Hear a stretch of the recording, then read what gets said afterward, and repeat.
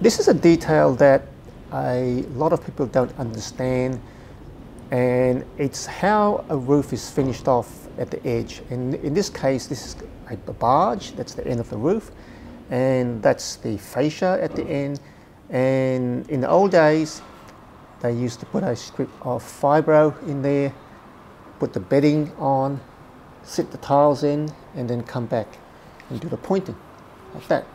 So there wasn't a metal Z flashing in the old days, just the fibro. And what happened is that when you do get cracking there and the water seeps in onto the bedding, it'll go on top of the fibro and then because the fibro has got a free edge and it sometimes droops backwards, a lot of water goes off the fibro and then goes into your roof. So you get a leak along the edge of the roof. So we're going to look at a typical barge here. So this is a Swiss tile roof. So we're looking at the barge, it's been pointed and it's just been pointed over the fibro. So if you take a few tiles out just to see where the leak's coming from, if you get closer to the edge, you'll see that as we lift the tiles up, that's where the water's getting in through the crack on the bedding.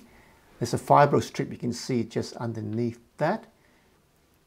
And if you look underneath, you see the fibro strip with the bedding that's looking under the tiles.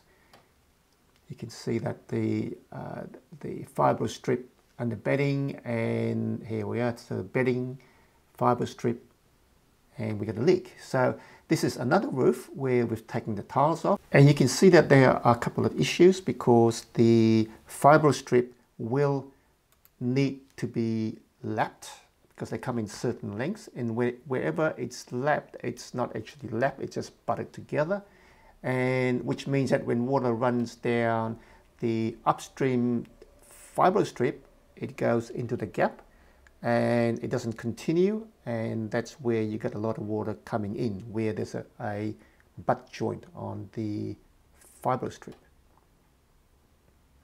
So as you can see from these images, you can get a substantial amount of water come in at the barges.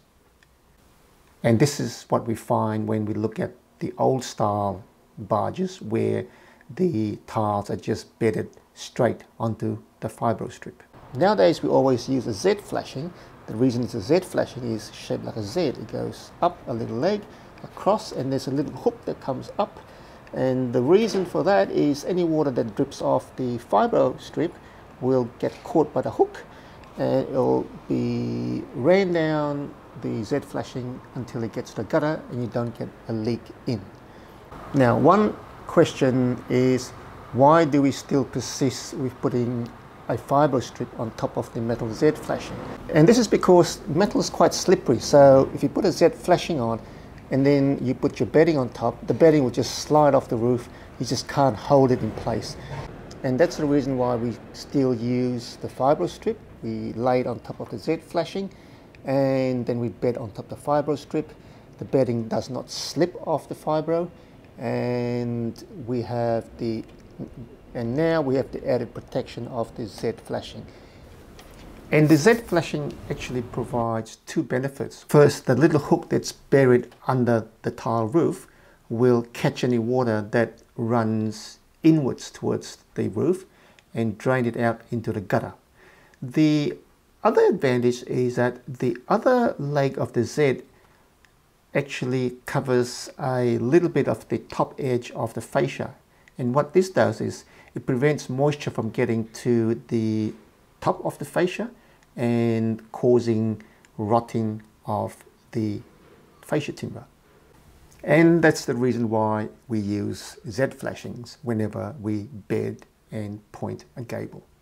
And it actually shows that we can actually innovate and make some positive progress in the roofing industry.